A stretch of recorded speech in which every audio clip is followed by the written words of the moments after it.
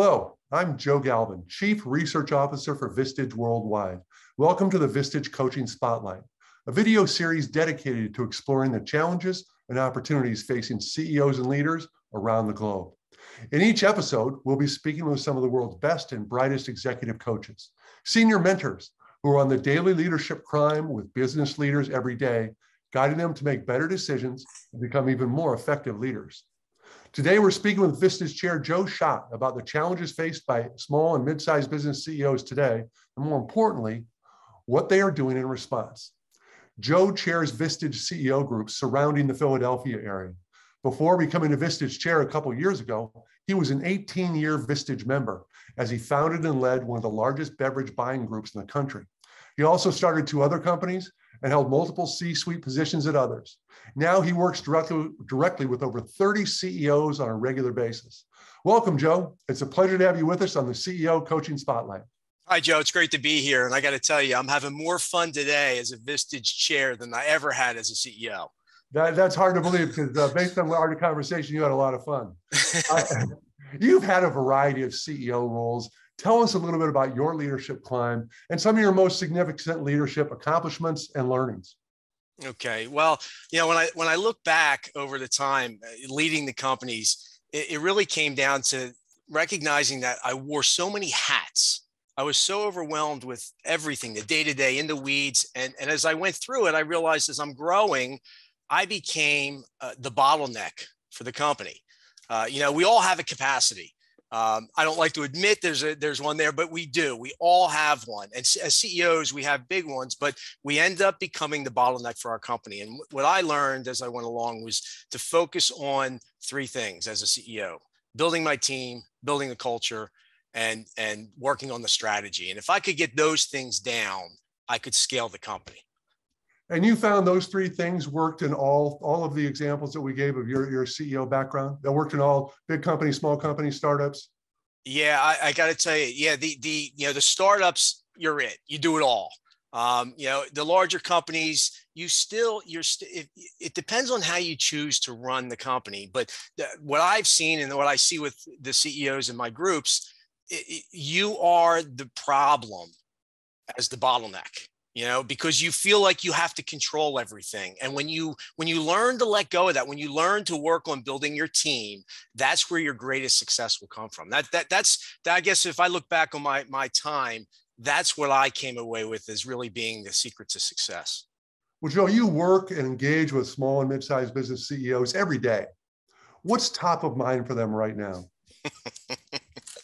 it might be easier to say what, what's not on their mind. Uh, you know, there's so much change and everything that's going on in the world. But uh, I'll, I'll, rattle off some, but I'll tell you what, what I think is is really uh, critical. But I mean, we're talking a lot about cybersecurity and cyber insurance more more so. I mean, that's a big topic these days. PE opportunities, the private equity out there. Uh, it's it's almost everybody's being contacted. Yeah. Um, accountability and and scaling your company. That seems to be a real top of mind. Recession planning another big topic. And of course you know the hybrid model working at home uh, what should i do? And then hiring retention. But i'll tell you the number one if i were to pick one of those in, in my whole group i would have to say it's how do i hold my team more accountable? And and how do i scale my company you know accountability is such an important component before covid but now with the work from home the hybrid the remote work it becomes even more critical. How do you how do you get how do you get CEOs to focus on that? Because that's easier said than done.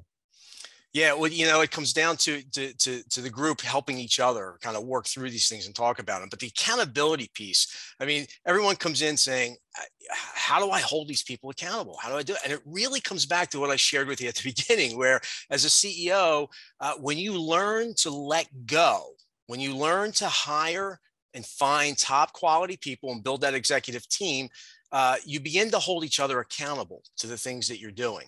Uh, and you and you work on that, and it's working on team culture strategy. You know, I mean, that's really where it comes down. So, to your to your concept around the importance of the team, what do you see smart CEOs doing about building those teams? And you know, question two to that is, in this new environment of hybrid work and a post-COVID new reality, how does that change, or has it changed? Yeah, that's a good question. I, you know, I, I said when you say smart CEOs, and I and I, I, can tell you, I'm working. Every one of them I'm working with seems to be really smart. Um, what it, I would say, and this this might sound like a commercial, and I don't want it to, but I would say finding a peer group is what the smart CEOs are doing. Um, a, a, lot of a lot of people I talk to uh, are have CEO coaches. They hire them and they and they're learning from that. That's good. That's all good. But finding that peer group, and it doesn't need to be a Vistage group. It could be another type of peer group. But um, I, I just getting the perspective from other CEOs that are going through their same stuff, sitting around your boardroom table once a month that's what they're doing. They're gaining perspectives that they don't have themselves. You know, getting back to the team building concept, that's that's fundamentally changed as, as we're in this hybrid world and and all the pressure and stress. We've got the, the great resignation, the millennials, Z's, all changing the rules of the workplace. Everyone's still looking to hire. How do they go about building a team in this new environment? Are there are there a couple rules or tricks that you see people doing? Mm-hmm. Yeah, well, you know, it, it is a challenge. It's it, the challenge today of hiring has gotten even tougher. Um, what one of the things that we've been learning about is we bring in some of these subject matter experts, and we've had some some people that work in the recruiting areas and come in, and we've learned we've learned that the, the, the model of putting together a job description and sticking it out there on a web or hiring just a recruiter to go out unless you know what success looks like in that role, you're not going to be able to hire properly for it. And that's what we've been we've been talking a lot about is what does success look like? And if the CEO can't define, and it has to be measurable, can't define what success looks like in a specific role, you need to figure that out before you even begin trying to hire somebody. Right. Well, you know, everyone's hiring, and you mentioned the importance of team how do you really check for that in the hiring process? Or do you have to wait until someone gets in the office and interacts with folks before you say, hey, this person fits or this person doesn't? How do you sort that out in the interview process? And to what degree do you just compromise because a warm body is better than nobody? Yeah, well, that's the one thing you really want to avoid is is compromise when hiring. Uh, it brings me back to to uh, as a member of, of a Vistage group, my chair used to tell me all the time when, when I'd make a bad hire, he'd say, "Joe, no one hires 100% no one if they're telling you that they're lying and the truth is if you can get 60% right you're hitting you're you're, you're hitting a home run. Um, yeah so w- when you go through it it's really about doing all the pre-work first and it's knowing what success looks like so that you can talk to them about here's the challenges you're going to face. Here are the things that you're going to have to deal with. Bring them into to the picture. Really get them to tell you stories and examples. Um, you should be if not already you should be considering uh, doing some type of assessment process you know and knowing what that what what you're looking for going in and that'll that'll up your odds of getting the right person on board Joe, thanks for that. That's great insight. It's great to hear that CEOs are taking that so seriously. Any final thoughts before we uh, say our goodbyes?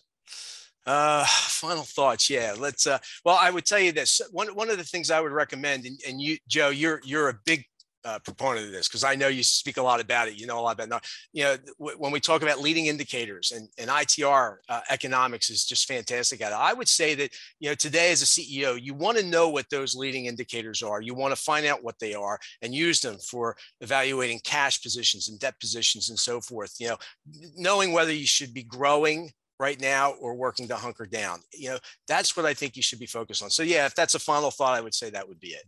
Well, you speak to a, a, new reality, and that is the volatility that's going on. This concentrated volatility. Things are happening so quick that if you don't have your metrics down, if you're not listening to the right post, uh, you're going to be in trouble. Joe, thank you so much for your time today. Your insights were great. We really appreciate it. And thank you for watching the Vistage Coaching Spotlight. If you've enjoyed this talk, be sure to share it with your colleagues who you think will find it valuable. For more information and guidance on the top issues you're facing as a leader, visit www.vistage.com. That's www.vistage.com. I'm Joe Galvin, Chief Research Officer for Vistage, and this is the CEO Coaching Spotlight.